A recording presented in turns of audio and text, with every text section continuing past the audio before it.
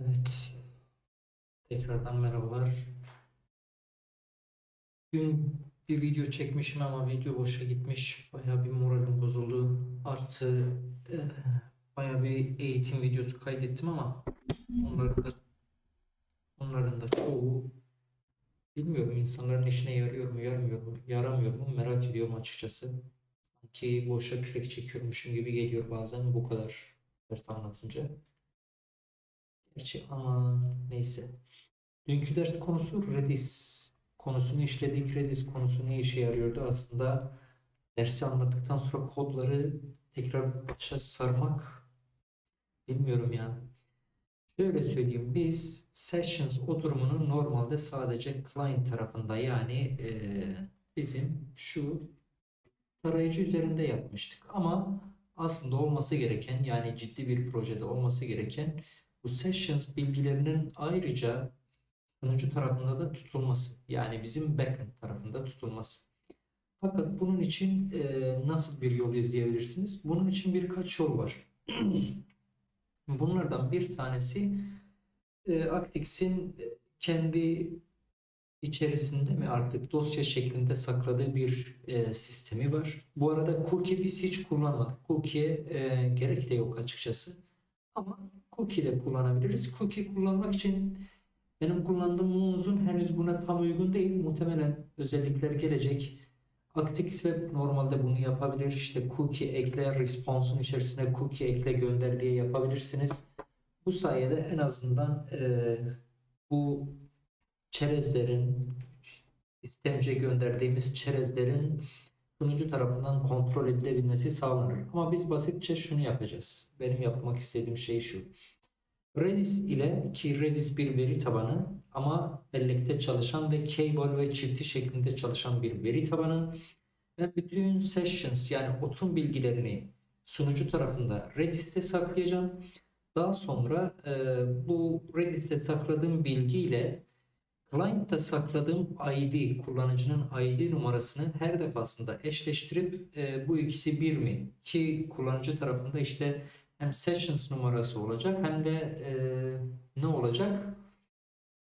Out token olabilir. Mesela işte bu kullanıcının out token'i şudur diye bir out token oluşturup bunu client'e göndereceğiz. Client de her defasında bunu bize gönderecek. Biz de işte karşılaştırma yapacağız. Acaba bu out token'e sahip olan kullanıcı bu mu diye.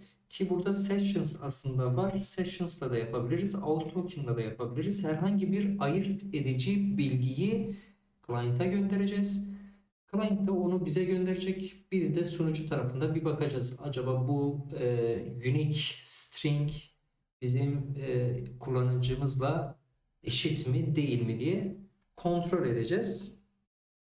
Tabii bunu nasıl yapabiliriz? Normalde cookie ile yapabiliriz. Ya da hmm, aslında sessions burada bir miktar sıkıntılı. Yani en azından burada kullandığımız sessions bir miktar sıkıntılı. Kullanıcı bu bilgileri nasıl gönderecek? Core ID ile gönderemez. Out token ile gönderemez. Sessions ile gönderebilir. Biz Sessions'ı alacağız o yüzden. Şimdi öncelikle backend tarafında backend tarafında Cargo Tom'una biz bu Redis'i ekliyoruz. Tokyo kullanacağız. Yani sync e, desteğini kullanacağız. Sonra şurayı ekliyoruz. Bu statik bir şekilde Redis'e bağlanmamızı sağlıyor. Redis'in e, adresi şu. Localhost üzerinde 6379 portunda çalışıyor. Buradan okuma e, hakkını alıyoruz connection'dan. Burada da yazma hakkını alıyoruz. Daha doğrusu Revelak'tan kaynaklı. Revelak geçen günkü e, videoda da bahsetmiştik. Bir veriye aynı anda birden çok read yapılabilir Revelak'ta ama e, yalnızca bir tane yazma hakkı elde edilebilir. Yalnızca bir kişi yazabilir, bir threads yazabilir. Bizim bu Actix sunucumuz da zaten e, threads, multi-thread şekilde çalıştığından dolayı biz buna da bir miktar dikkat edeceğiz. Şimdi bakalım nasıl yapabiliriz? Şimdi burada ben neyi yaptım? Login'i yaptım. Nasıl yaptık? Öncelikle gelip bir onu anlatalım. Şimdi buradaki bilgiler bizim frontend tarafında. Frontend tarafında e, VF'deydi.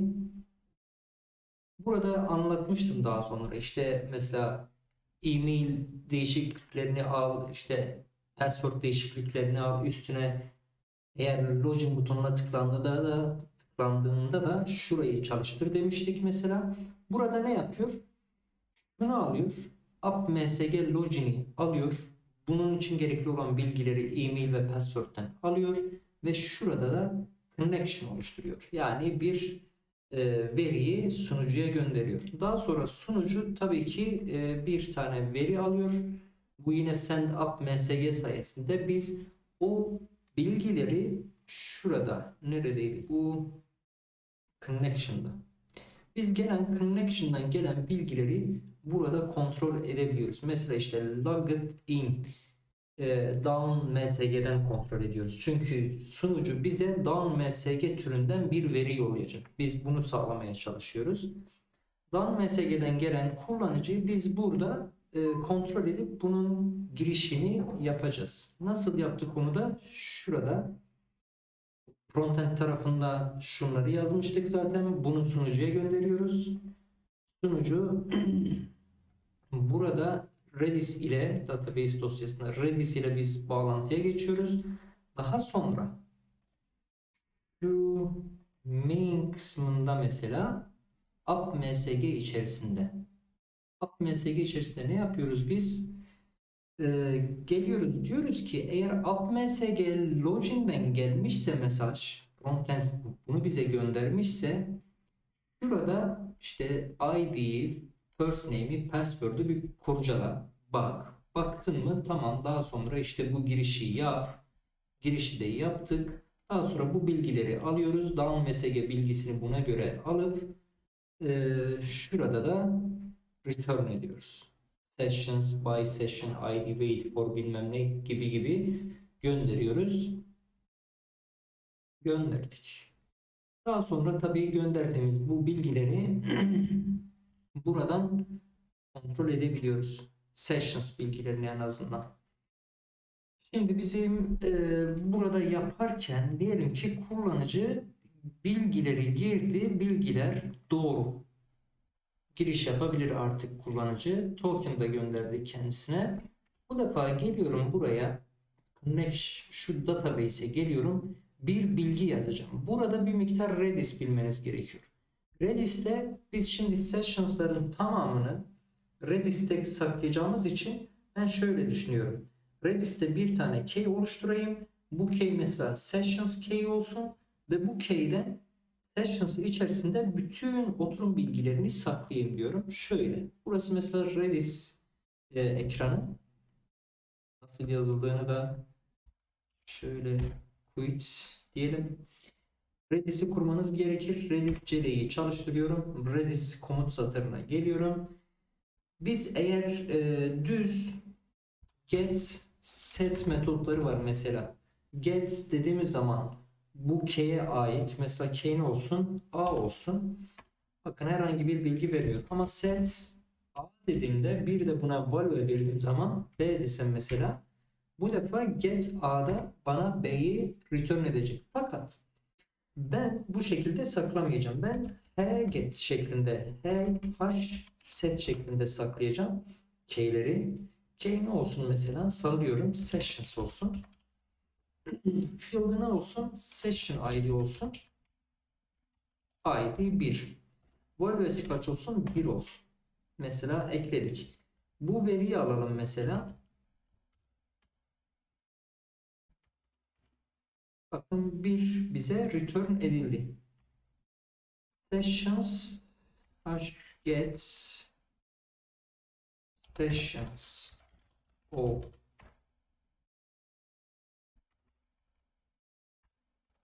get ol muydu?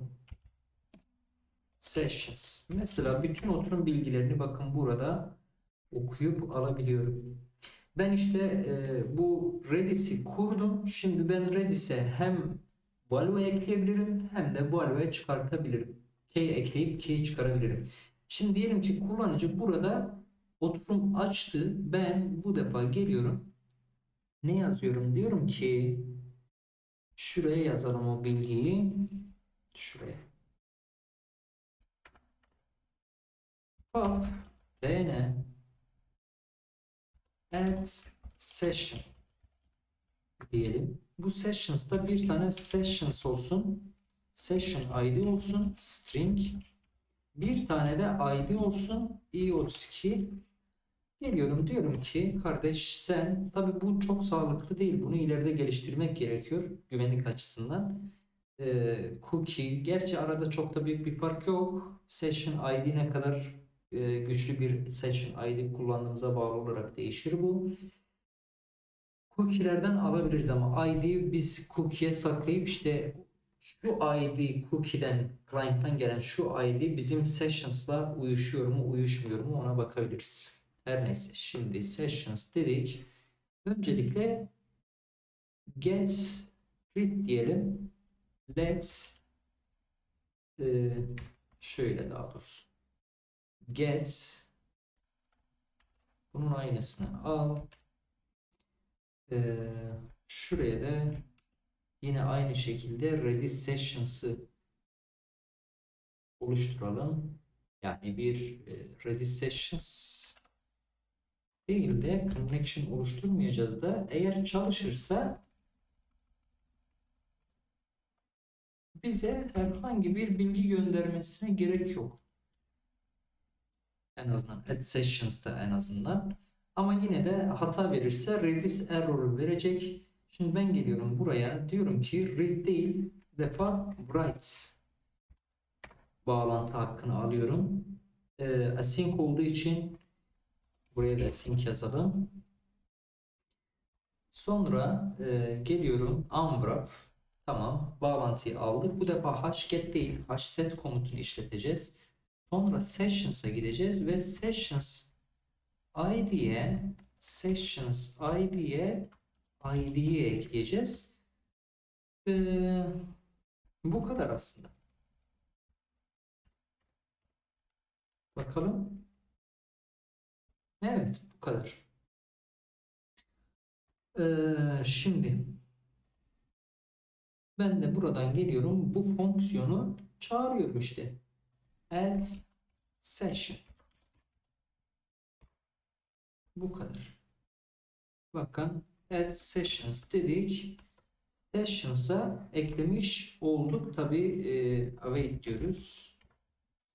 Burada e, ID diye bir bilgi yok. Onu girelim. Kimin ID'sini ekleyeceğiz? User'ın ID'sini ekleyeceğiz. Bu ID. E, ondan sonra sessions ID de yok. Burada nerede? Ha, session ID var. Tamam. Ama bu sessions ait olduğu için bunu string'e çeviriyorum. Çünkü ben string istemiştim. Şimdi oldu.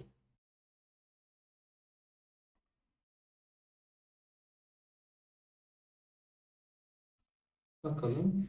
Giriş yapalım.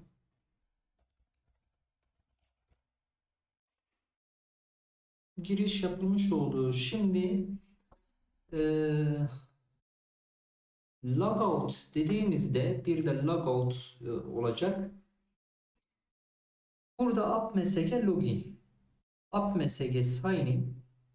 Ama e, appmsg mesela bir tane eklememiz gerekiyor. O zaman buraya geliyoruz. Login, sign in, log out, logged out diyoruz. Logged out'ta herhangi bir bilgi oluşmasına gerek yok. Hata vermesi lazım. Tamam. Gelelim bakalım hatalarımıza. Tamam. Şuraya da geliyoruz. Appmsg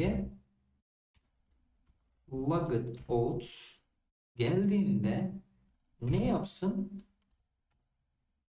Şurada bir boşluk bırakalım da çirkin görünmesin. Ne yapsın?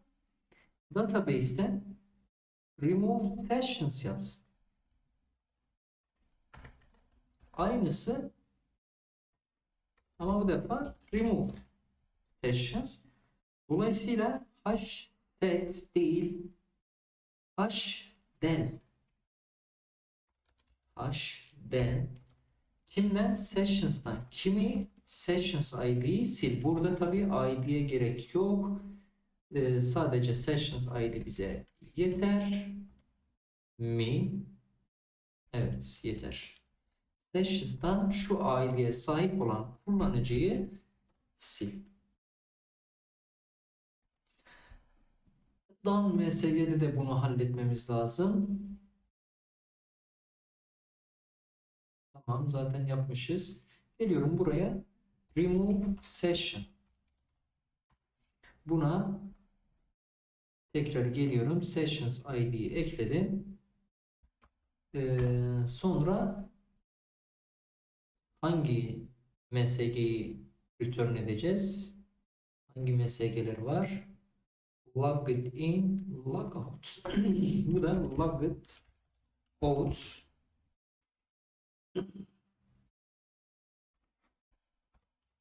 Bu logout olsun. Bu logged out olsun. Yani bitmiş hali. Tabii burada hata verecek. Burada da yine log out olacak. Tamam. Şimdi hatalarımızı kaldıralım. Hmm.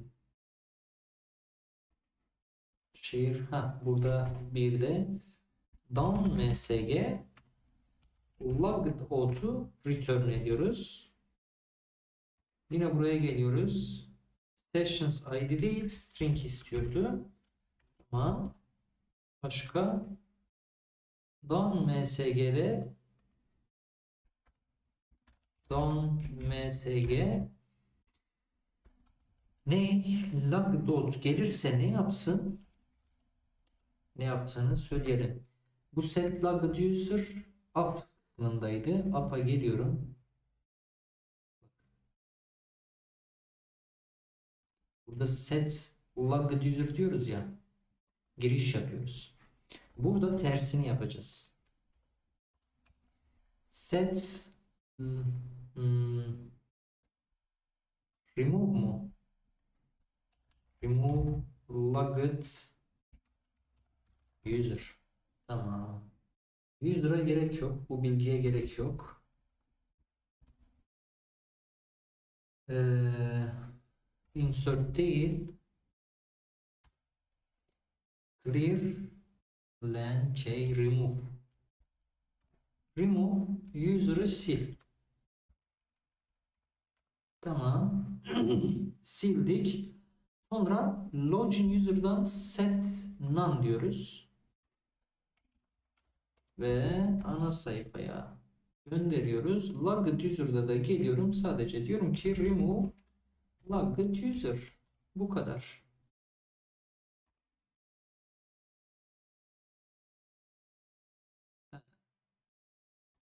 Expect burada kullanılmıyor. Remove'da gerek yok.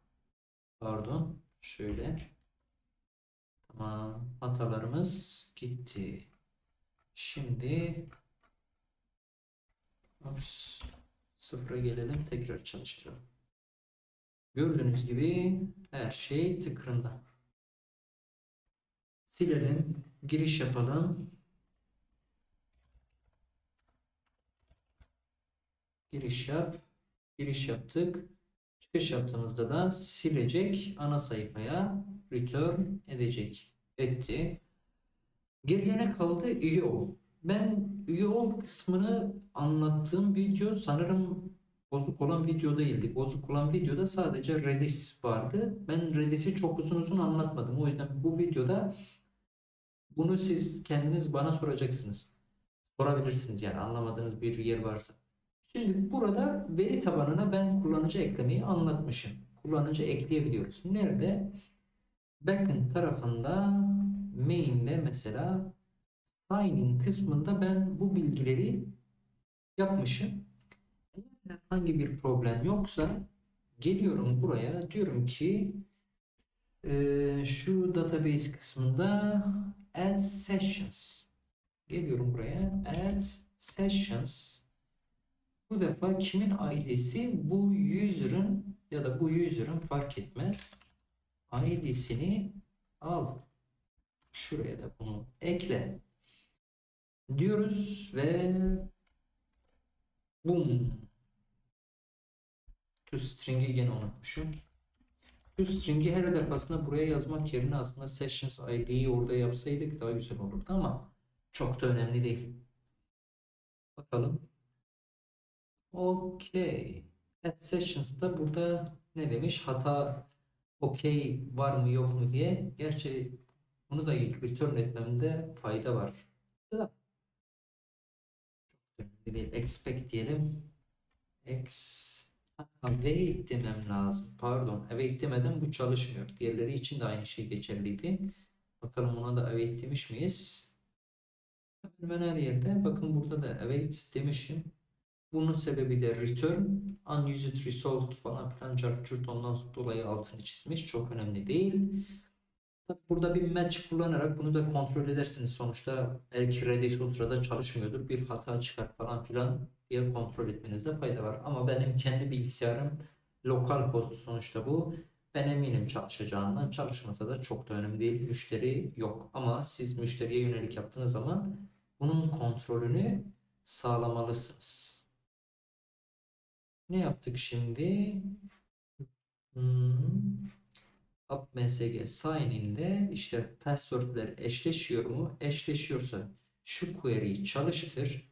Query insert olduğu için bize herhangi bir şey return etmek zorunda değil ama biz ona returning komutuyla ekleme yapabilirsen eğer eklediğim verilerin ID'sini, first name'ini ve password'ünü bize ver diyoruz.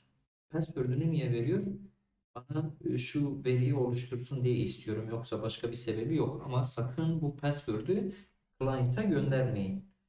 E, burada ben kullandım ama siz kullanmayın. Return ederken password'ü hiçbir zaman client'a return etmeyin. Neyse yaptık. Read ettik. Yazdırdık. Read değil aslında bu. Write olması lazım ama neden? Çünkü bilgi yazıyoruz. Rebellac'ta da try write da var. Hmm, gayet güzel oldu aslında. Şu anda bizim e, web sitemiz aslında sağlıklı bir şekilde çalışıyor. Tabi buna gerek yok. Bunu kaldırıyorum.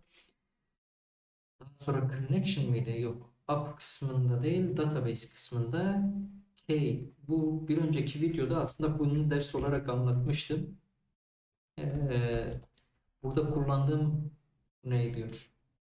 Getki main 4 şu gitti artık.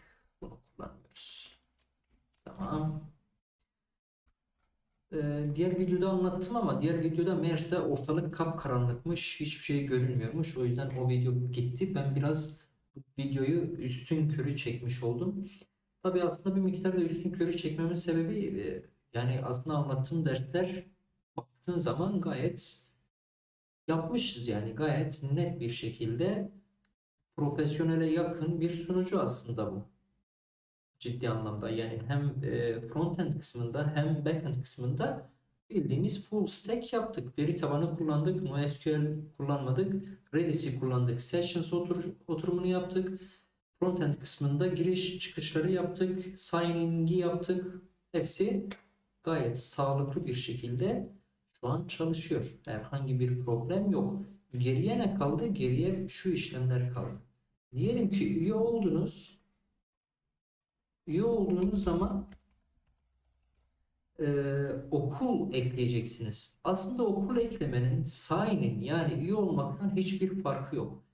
E, frontend tarafında app.msg mesela nerede? Şu bizim shared dosyamızdadır. Şu bizim lib dosyamızda. E, mesela geliyorum. At school. Buraya geliyorum. Okulun ismi lazım değil mi bana? Aynı e-mail'deki gibi. Geliyorum buraya school name yazıyorum. Ve bu bir string olacak. Bakın ne kadar basit olacak şimdi. Ee, sonra geliyorum down msg'ye okul ekleme yapmak istediğim zaman down msg'de ne olacak? Ee, bana şunu söyleyecek. At that school ve buraya yine string ile name gönderecek. School name gönderecek. Ya da sadece name göndersin ya da school name göndersin. Şimdi o kadar üstüne düşünmeyeceğim de ama daha sonrasında ya da at school error. Burası da string bir şey olacak. Aradaki farka dikkat edin. Mesela burada struct gibi kullandığım zaman bir tane field name'i kullanıyorum ama tuple olarak kullandığım zaman field name'ini kullanmıyorum. Bilginiz olsun. Aradaki fark bu. Ee, şimdi mesela ana sayfada frontend'e gelelim. Hub kısmına gelelim. School sayfasına gelelim. Selected Change Page School Pages bu okulun sayfası ama bizim henüz okulumuz yok.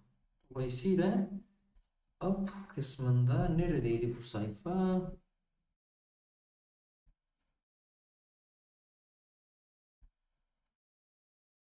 Hmm, home, login, sign in.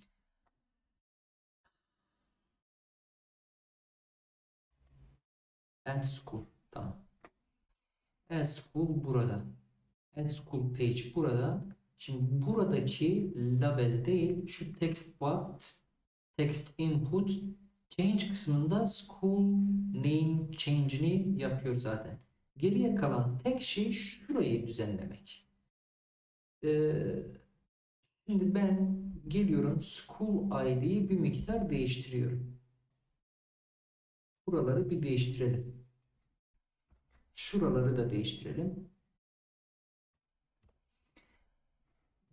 Nereyi alacağız? Bunun aynısını alacağız aslında. Şurayı al. Sadece değişiklik yap ve bırak. Geliyorum buraya. Bak. Bu defa login değil, add school olacak ya. Add school, school name'i ne olsun? Şuraları bir silelim. School name'i ne olsun? Ee, school name diye bir şey olması lazım. Get clones. Tamam. Sonra connection send up msg ile biz e, bunu gönderiyoruz e, sunucuya. Şunlara gerek yok. Sonra sunucu bize bir cevap verecek değil mi? Sunucu cevap verdiği zaman neresi çalışıyor? Şurası çalışıyor. Down msg'den geliyorum buraya. Down msg add school eğer add school gelirse e, ben ne yapacağım burada? Şöyle bir şey yapacağım. Diyeceğim ki şunu sileyim kafanız karışmasın. Diyeceğim ki okulun burada mesela şu bilgi var. Ee, school var mı yok mu diye bir bilgi olması lazım. Bu da nerede? School up school kısmında yani kullanıcı giriş yapmışsa ya da yapmamışsa bir de okul var mı yok mu diye bir bilgi bana lazım. Nerede? Nerede? Nerede? Bu bilgi nerede? Hmm.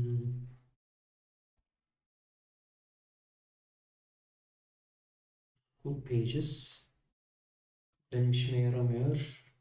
Ben burada gelen bilgi üzerinden school name'inden e, okulu halletmem lazım. Ama bu nereden ayarlanacak?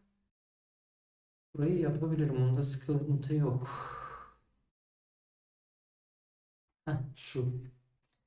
Kul verisiymiş. Bunu geliyorum set ediyorum. Nerede? Şurada. Şurada. Şunu da silelim. Add school'da e, school'u aldık. Bu niye hata veriyor?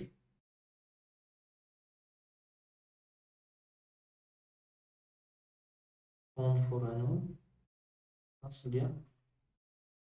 Şurada daha kaydetmemişiz o yüzden dırdır ediyor. Burada da bir şeyleri yapalım. Hata vermesine bakmayın. Düzelteceğiz şimdi onları. Geliyorum buraya. Neredeydi e, bu school bilgisi? VF'deydi yanlış hatırlamıyorsam.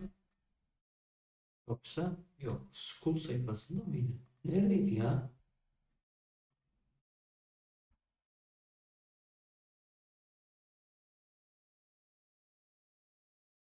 Hmm. Şuradaydı tamam. School sayfasının school fonksiyonu. Eğer gelen bilgi doğru ise ki gelen bilgiyi biz burada kontrol ediyoruz. At school yani school eklenmiş ise school school school Burası neresi bu arada? Hangi dosyadayız? Connection'dayız. Krate up school school set school name Okey. Şimdi hatalarımızı ne diyor burada? Module school is private. Burada pub mod diyelim. Sonraki hatalarına bakalım. UpMSG diyor burada sen e, okul ekleme sayfası nerede? Diyor. E, doğru diyor. Geliyoruz şuraya. UpMSG yani burası backend tarafı. UpMSG add school school name ise ne yapacağız? Burada veri tabanına okul ekleyeceğiz. Ama bunun için önce e, database'ten add session, remove session, get user, get session diyelim bir de. Hmm, get right değil bu defa read Build connection. Evet. Unwrap HDL değil bu defa.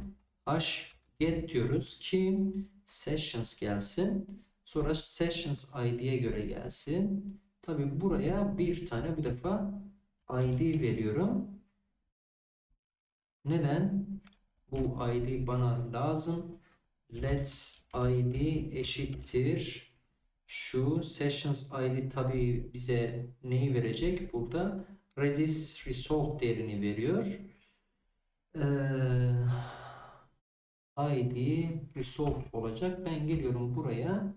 id'yi return ediyorum. Tamam. Hop. Evet, id'nin türü nedir? Doğru. Buraya ben niye id yazmış? i32. Buraya da i32 olduğunu belirtiyorum. Çünkü bu Redis kütüphanesi hget fonksiyonu bana şunu söylüyor. Sen bir veri aldın ama bu veriyi hangi türe çevireceksin diye ben de diyorum ki sen bu getireceğin veriyi i32'ye çevir. Daha sonra geliyorum buraya. Ama tabi burası da e, i32 olduğu için ben buraya ok yazıyorum. id yazıyorum. Şuraya da soru işaretini atıyorum. Hı. Hata olmaması lazım. Tabi remove sessions değil artık. Get sessions. Şimdi add school yok. Ben geldim burada add school kısmını yazdım. O zaman get session mu? Session mu yazmışım yani? Session. Tamam. En sona tekrar geliyoruz. Get sessions match match get sessions awaits çünkü hata olabilir. OK ise bize bir ID verecek. O halde biz bu ID geldiği zaman ne yapıyoruz? Buradakilerin aynısını yapıyoruz. Ama herhangi bir şey return etmek zorunda değiliz. Dolayısıyla insert into school diyorum. Tabii school muydu? Schools muydu? Tam hatırlamıyorum. Yanlış yapmış olabilirim burada. Name sadece school name'ini veriyorum. Herhangi bir şey return etmeyeceğim. Sadece bir bilgi veriyoruz. Tamam. Buraya da geliyorum execute. Niye çalışmıyor?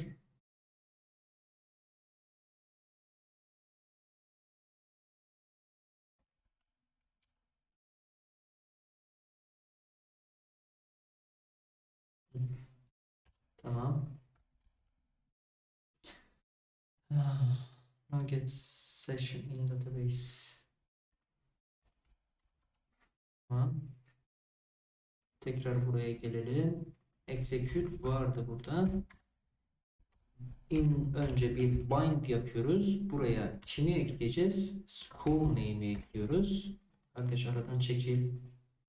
Buraya da sonra execute diyorum. Ha. Query as dediğimiz zaman kabul etmiyor. Query dediğimiz zaman query as query as buraya i32 diyelim ya da string ortalık karışmasın. Şuraya geliyorum. Query nasıl çalıştırıyoruz? Fetch one tamam. Yani eğer yazarsan bana bir tane return et. Executor'a da geliyoruz. İşte db write wait diyoruz. Ee, daha sonra buraya da await yazıyoruz. Bize return edeceği değer ne? Returning name. Yani okula eklediği zaman name'i return edecek demiş olduk. Ha, tabii şuraları biraz düzeltelim. Şöyle yapalım. Stringimiz buraya bağlı olsun. Bind aşağıya insin. Fetch one aşağıya insin. Ama diyelim ki eğer olursa yani hata oluşursa neyi return edelim? down msg down msg'den as cool error buraya e yazıyoruz. Burası da e olsun. Tamam. Şimdi burada ne diyor?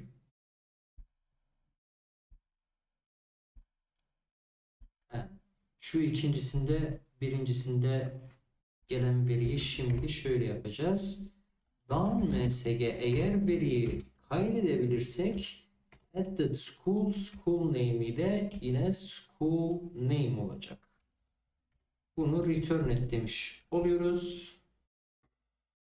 Bakıyoruz nerede? Ne diyor bu?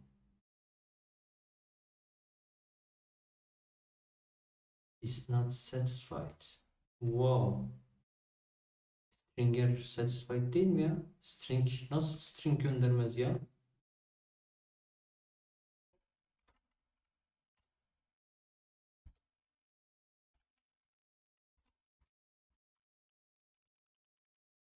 Şöyle yapsak.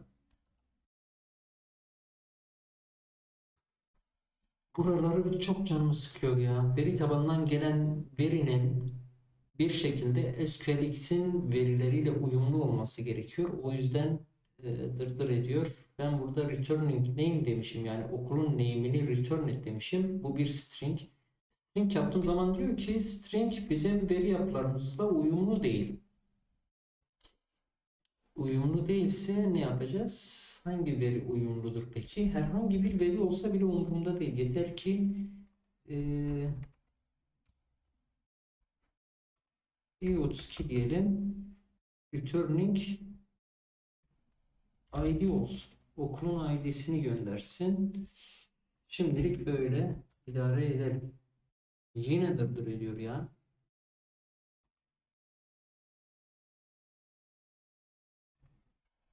String tamam. Sen çekil kenara.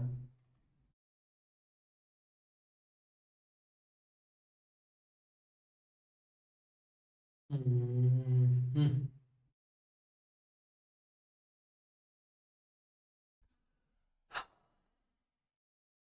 O zaman şöyle bir şey yapalım. Bunların hiçbirine gerek yok. Execute edeceğiz direkt. Execute. Query değil. Query as değil. Sadece query. Geliyoruz buraya. Veri yazıyoruz. School name. Bind kısmı bunda yok. Patch 1 da yok. Çünkü patch 1 dediğimiz zaman bizden bir veri türünü istiyor. Biz execute kullanacağız. Execute.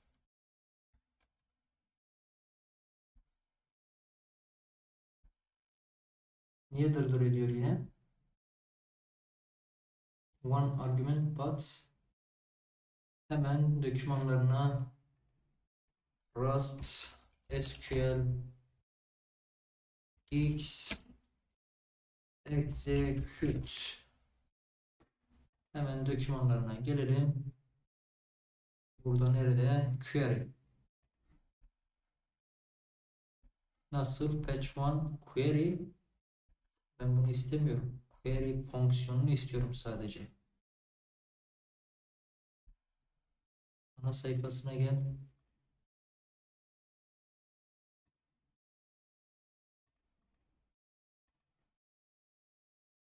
Aa,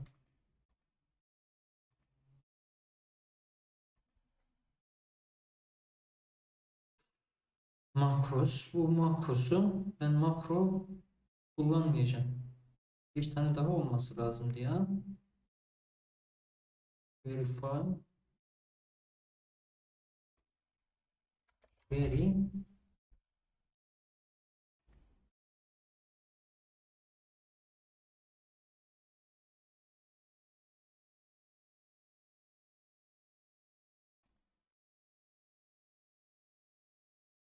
Execute nerede? Execute. Şu. Execute. Kardeş bana bir şeyler ver. Bana bu kadar karmaşık şeyler verme.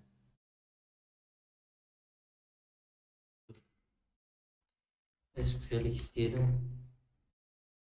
Ya da buradan çok ilginçtir. Dokümanları GitHub kadar bana e, iyi gelmiyor ya.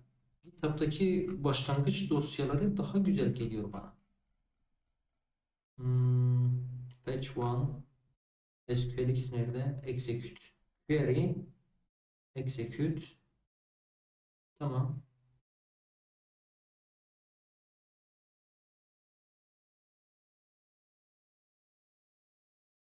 Query bind kullanıyor mu ya?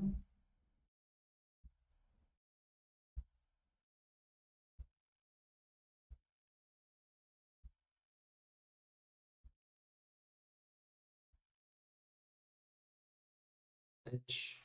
Bana execute lazım. Execute. Execute ver bana. Return yapmayacağım ya. Allah'ını seversen ya.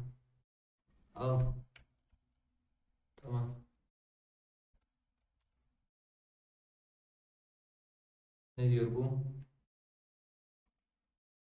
Schools değilmiş. School'muş. Tamam. Başka. Execute.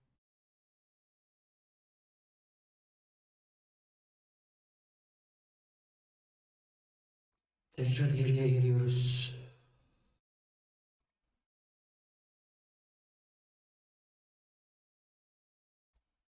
Bir bakalım. E, makrosuna bu defa bakacağız. Query değil. Ana sayfaya. Ya buradan ana sayfaya ki gidilmiyor. Ne kadar ilginç ya.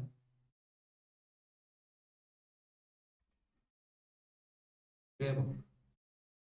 Ne kadar kötü ya.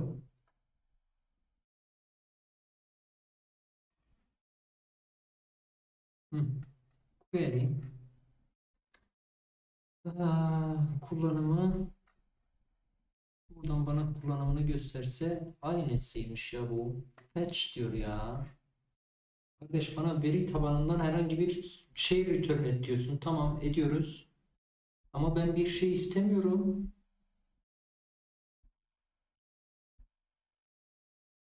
Bana herhangi bir şey return etme ya. Execute kullanacağım ben ya. Execute kullanılabiliyor bunda ya. Execute herhangi bir şey istemiyor. Fetch one falan filan istemiyorum ben.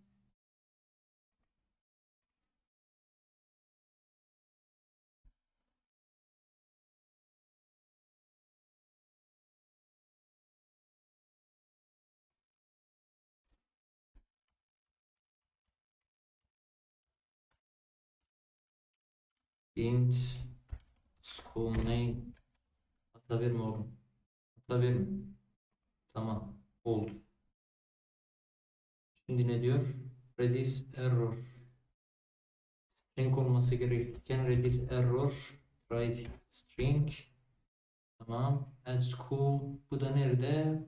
Bizim connection yani frontend tarafında. Ee, geliyoruz buraya. Down msg. Add school. Hmm, added school error olduğunda buraya e yazalım. Buraya herhangi bir şey şimdilik yapmıyor. O yüzden şuraya da böyle yapalım. Şimdi sets ne diyor? Options olması lazım. Tamam. Some school name. Tamam. Şimdi expected struct school bir string eklemişiz ama bunu aslında school olması lazım.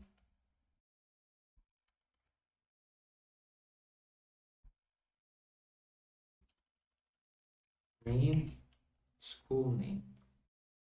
Bir bakalım. School nerede varmış? Bu school nerede? Up pages Nerede bizim school bilgimiz? School bilgimiz up school'da. Tamam.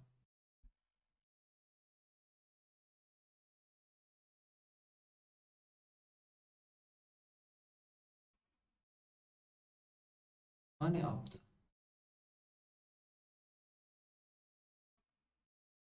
Kardeş. School nerede? School.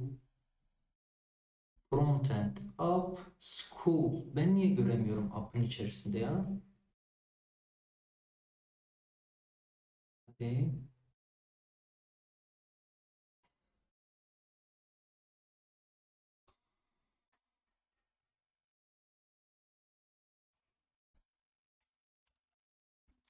Bu.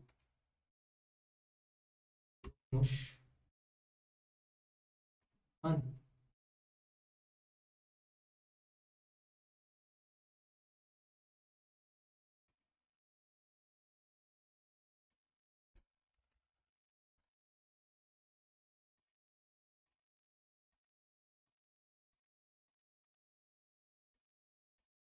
Ha, Buradaymış. Up school diye gösteriyor ya bir de. Neyse. ID de lazım. Name lazım. Neredeymiş? School sayfasında. Şuradaymış. O zaman gelelim buraya.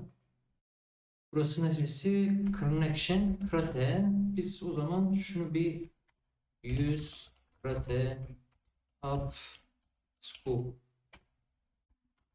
school tamam school id Aa, bakın ID lazım oldu burada ya. ID 0 olsun şimdilik. Hmm, krate. Neresi? Şuna gerek yok. Tamam. Okey. Okey. Okey.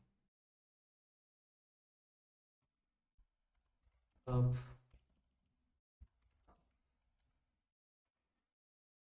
Okey. Hata yok. Şimdi mesela okul ekleyebiliriz. Ama eklerken kim dırdır edecek? Şurası dırdır edecek. Dırdır etmesinin sebebi de şu. Buradan hata verme ihtimali de var. Biz onu kontrol etmedik ama sıkıntı değil. Geliyoruz buraya ID'sini ve name'ini return ediyorduk ya. Sadece school name değil, bir de manager var. Manager'a eklenecek şey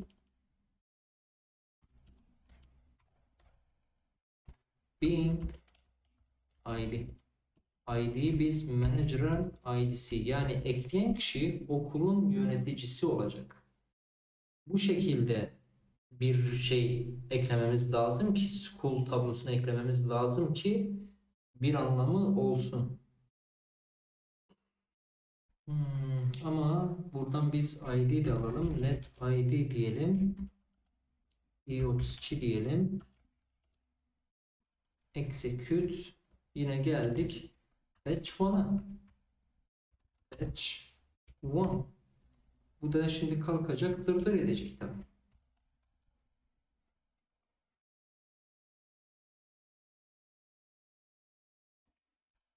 Unwrap.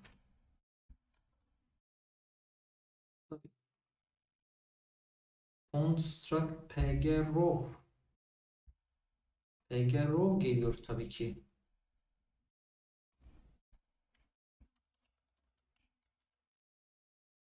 Yine dırdır ediyor. i32 çünkü böyle bir şey değil diye. Bunu nasıl alabiliyoruz ya?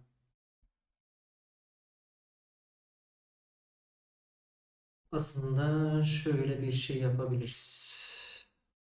Burada school var ya. Onu biz şöyle yapalım. Sign in form gibi bir tane okul bilgilerinin olduğu bir tane form oluşturalım. Biz bunu her yerde kullanabiliriz.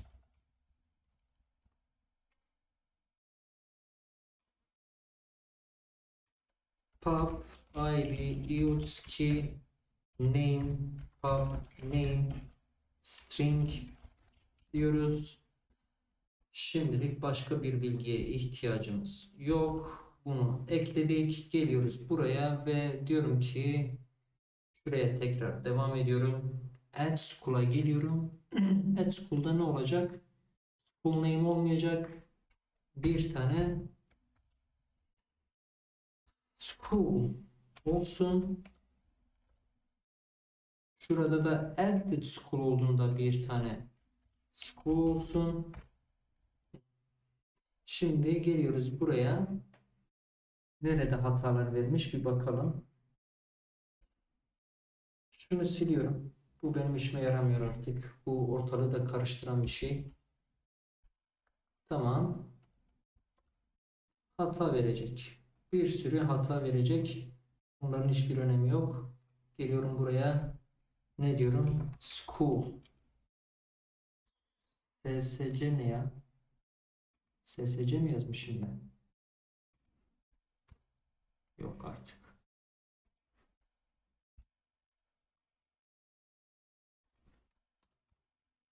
Şöyle biraz daha iyi oldu.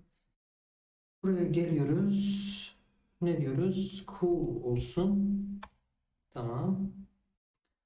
Şimdi ID ve name geldiği zaman school'a bunu rahatlıkla ekleyebilecek. Dolayısıyla biz down msg'de geleceğiz. Buraya school pardon şu id'yi gönder diyeceğiz. Şuraya id değil de school yapalım. School'u school return ediyoruz. Şimdi burası ben diyorum bu niye zor? Çünkü bu backend ile çalışmıyor. Neyse. O zaman şuraya tanımlıyorum aynısını. Aynısını buraya tanımlıyorum. Sadece şurada kullanacağım çünkü bunu başka hiçbir yerde kullanmıyorum. Hmm. Evet. Oldu. Şimdi iki tane school burada oldu. Onu silelim. School nerede? Burada görünmüyor. O zaman sıkıntı yok. Tamam. Şurayı da değiştirelim. Up msg school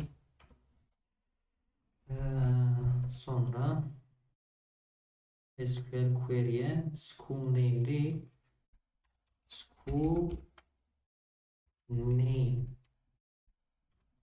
School hmm, school name'i buraya da ID bu ID giriş yapmış olan kullanıcının ID'si okulun ID'si değil. Dolayısıyla tamam gelecek olan return edeceğimiz veri ne? ID ve name. Okulun ID'si ve okulun name'i. Bunu da buradaki school'a return edecek. Ama şimdi biz bunu return ederken buradaki school ile şuradaki school aslında birbirinden farklı. Biri shared dosyasındaki school geliyorum ID diyorum school ID'si name diyorum school name'i name bunu return edelim. Hala ha, en azından şimdi from row dırdır etme artık. Vazgeç Allah'ını seversen. Ha, şimdi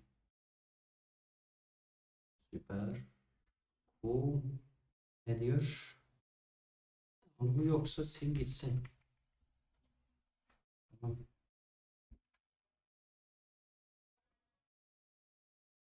That's cool. At School'da şöyle yapmıştık. Burayı değiştirmiştik. Ne demiştik? At School'da bir tane shared school olacak. Şunun da eee, bir ID'si ID'si niye olsun ki ya? İşte buralar canımı sıkıyor.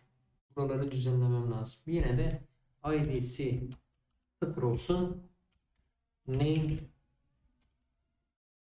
hmm, name ile school name olsun. Get cloned olsun. Gönder. Şimdi bu ne diyor? Shared school tamam. Verilerin yerlerini değiştirdim. Yine burada at the school değişmişti. Onu da şöyle yaptım. Burası school olacak. Eğer gelen veride okul bilgisi varsa şurayı değiştiriyoruz. Buraya gerek yok. Diyelim ki okul geldi. Bu defa ne yapıyoruz? School diye bir tane fonksiyonumuz şu dosyanın içerisinde vardı. Tam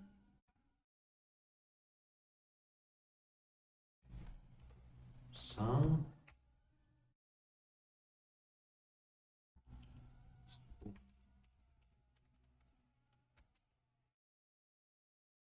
var mı hata? Görünmüyor. Çalışmış mı? Çalışmış. Ama tabii e, benim hesabımla giriş yaptığımızda üye eklesek muhtemelen ekleyelim. Hata burada çıkacak. Ne diyor hata? Nerede hata var? Bir dakika. Tekrar deneyelim. Herhangi bir yerde hata çıkmıyor. Console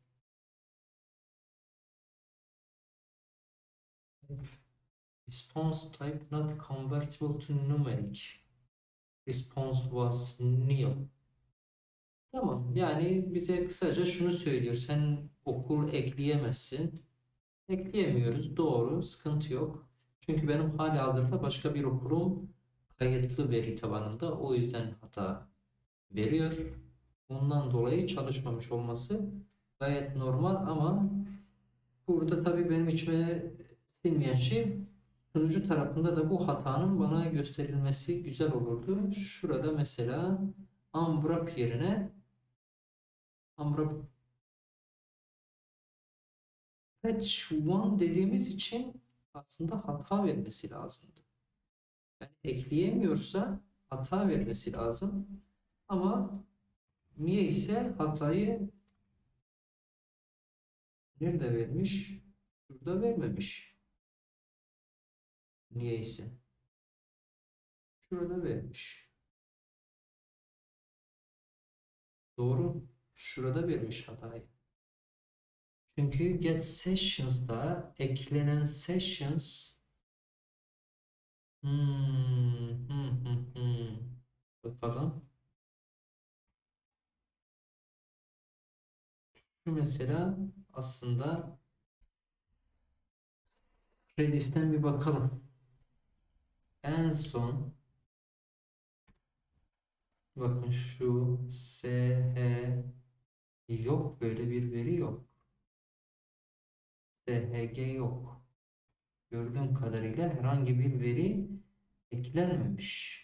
Sessions'da herhangi bir şey kayıtlı değil. Böyle bir sunucu, böyle bir oturum açma bilgisi sunucu tarafında yok. Tekrar giriş yapalım.